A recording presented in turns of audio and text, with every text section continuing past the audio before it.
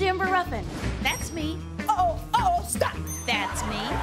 And that's me. I'm a writer for Late Night with Seth Meyers. Yeah, whatever he's saying, I maybe probably wrote it. Should be ashamed of it. You wrote that for me today! And now I've got my own show. That's my logo. What? My show's got jokes, If you want to get rid of people who don't belong,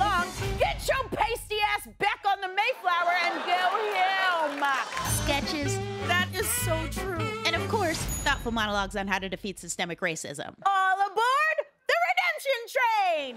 It's a laugh riot. The Amber Ruffin Show, a new late night show on Peacock.